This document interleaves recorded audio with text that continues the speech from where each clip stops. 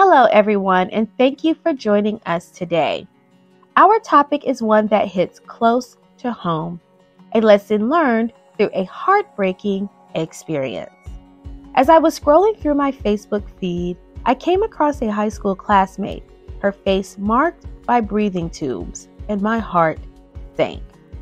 We were Facebook friends, but not close enough to pick up the phone and call her. A few days later, I logged onto Facebook only to learn that she had passed away. She needed a lung transplant and had turned to GoFundMe for help. The story leaves me with a profound sense of regret. Her situation painfully reminded me of my own procrastination. At a point in my life where I hadn't yet reached 40, I naively assumed that there would always be more time. Time to inquire about her health, time to offer support. Now, as the senior class president, I'm tasked with sending a memorial gift when we could have been proactive contributors to her GoFundMe campaign. Procrastination is a demon we often battle at different times throughout our life.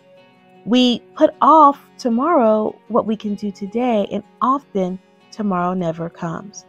But why do we procrastinate? One reason is the absence of structure. In a world where there are fewer external directions, we often favor instant gratification like checking social media over our long term goals. To combat this, design your environment to make your goals more accessible and distractions less so. Reason number two, we tend to avoid unpleasant tasks. Many of the tasks that we are required or expected to do are simply unpleasant. We procrastinate on what we find boring or uninteresting. A solution is to break these tasks into smaller, manageable steps. Shift your focus from the whole to these smaller tasks, making them feel less overwhelming. Reason number three timing. Timing plays a role too. When rewards and punishments are far off, internal conflicts arise. Smokers often say one last cigarette. To overcome this, associate long term goals with short term rewards, making them more appealing. Reason four anxiety. Anxiety is a major factor. Procrastination can be a way to cope with fear of failure. High stress levels often lead to procrastination. Reducing stress can combat this problem, making it easier to tackle high priority tasks. Number five, self confidence. Lastly, self confidence matters. Low self confidence leads to self doubt when challenges arise, while strong beliefs keep us going. Achieving goals boosts self confidence, driving us to set even greater challenges. But here's the silver lining procrastination can be beaten. With each day, we have the power to shape our future. Let's apply these lessons to another vital aspect of life sobriety. We can overcome our addiction and create a brighter tomorrow if we just get started today. Now, you might be asking, why prioritize sobriety today? Well, just like overcoming procrastination, there are countless benefits to embracing sobriety. Let's dive into a few of them right now. Benefit number one improved health. Our first benefit is improved health. When we prioritize sobriety, you give your body a chance to heal. Your risk of serious health issues like liver disease, heart problems, and cancer significantly decreases. Imagine the positive impact this can have on your quality of life. Benefit number two enhanced mental clarity. Sobriety allows your mind to regain its focus and clarity. You'll think more clearly, make better decisions, and enjoy improved cognitive function. The fog of addiction is replaced by a clear and sharp mindset. Benefit number three emotional stability. With sobriety, you regain control over your emotions. Mood swings, anxiety, depression, they all become more manageable. This newfound emotional balance can bring a sense of peace and contentment to your life. Benefit number four is all about the people who matter most in your life. Sobriety can mend and strengthen your relationships. You'll be more present, reliable, and capable of nurturing healthy connections with friends and family. Trust can be rebuilt, and love can flourish. Benefit number five Who doesn't love financial security? Benefit number five is exactly that. Sobriety can save you a significant amount of money. The funds that once fueled substance abuse can now be used for necessities like savings or enjoyable activities that promote your well being. Benefit number six Sobriety's benefit number six is something we all aspire to achieve career advancement. When you're sober, new job opportunities become available and your job performance improves. Employers will value your reliability and focus, which can lead to promotions and career growth. Benefit number seven personal growth is benefit number seven. Sobriety provides you with an opportunity to explore your passions, hobbies, and talents. It's a chance for self discovery and personal development, leading to a more fulfilling life. Benefit number eight is all about boosting your self esteem. Overcoming addiction is a tremendous accomplishment. Maintaining your sobriety reinforces a positive self image, making you feel more confident and capable. Freedom from legal issues is benefit number nine. Prioritizing sobriety helps you avoid the legal troubles often associated with substance abuse. You'll steer clear of risky situations and legal entanglements, leading to a peaceful and worry free life. And benefit number 10, last but not least, benefit number 10 is about being a positive role model. By prioritizing sobriety, you can inspire others who are on their own journey to recovery. Your story can be a shining example, motivating and encouraging them to seek help and prioritize their recovery. In wrapping up our discussion, I want to acknowledge that achieving sobriety isn't as simple as my 10 benefits of sobriety checklist that I've shared with you today. If it were, addiction wouldn't be the complex challenge that it is, and you might not even be here right now. Addiction is real, and these 10 reminders are meant to underscore the vital importance of choosing sobriety. Remember, life is a canvas, and you are the artist. You have the power to shape your destiny.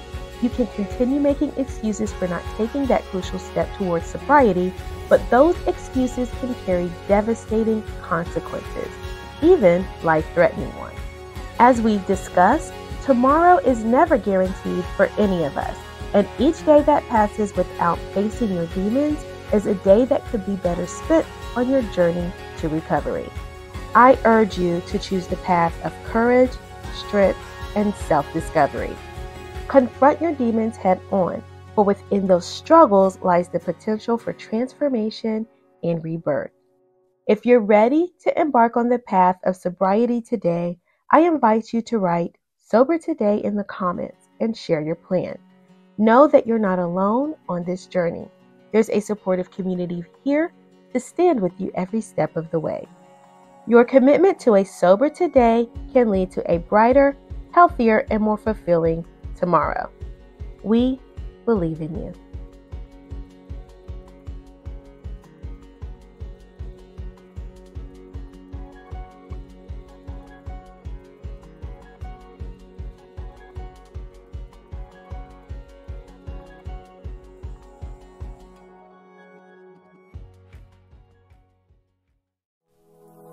To all those who are battling with alcohol and addiction.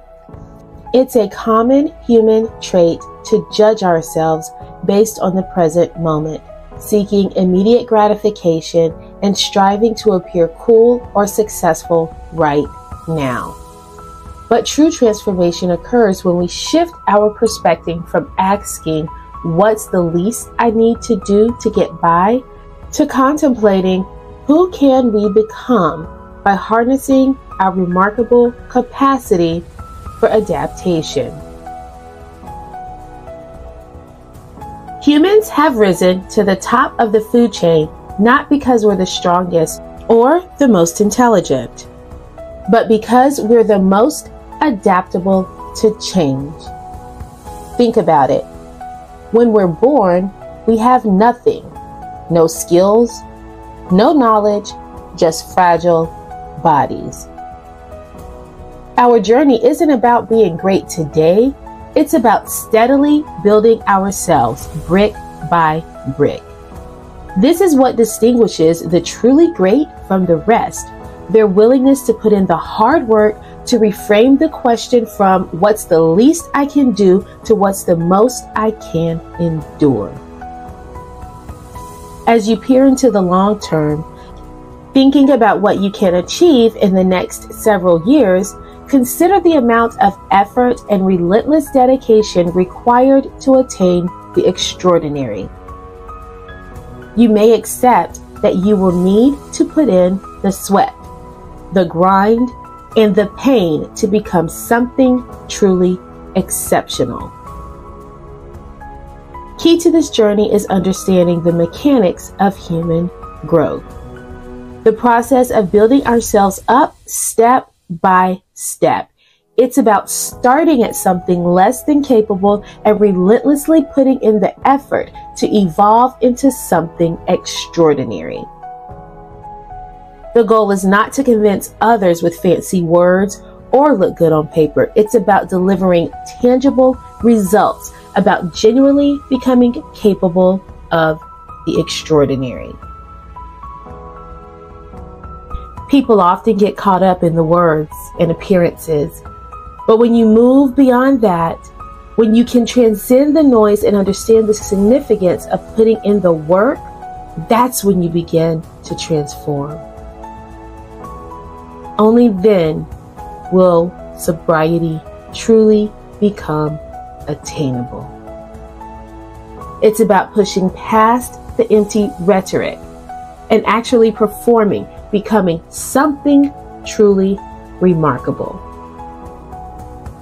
Many aspire for the glitz, the glamour, the riches, but true greatness starts with a deep belief in yourself and your potential. Even when no one's watching, even when there's no one to impress, do you still push forward? Are you still willing to adapt and thrive? Do you still want to be something extraordinary? to measure your own success, stop focusing on the echo of applause and start concentrating on your own growth. Your sobriety is at stake here, and other people's opinions don't matter. Believe in who you become tomorrow and let every day until your last be dedicated to unlocking your potential, building something meaningful, and becoming a better version of yourself. It's about building a legacy, brick by brick, step by step. The true champions are not just born, they are made through their dedication to delivering championship performances day in and day out. With unwavering belief in your potential, you've got this.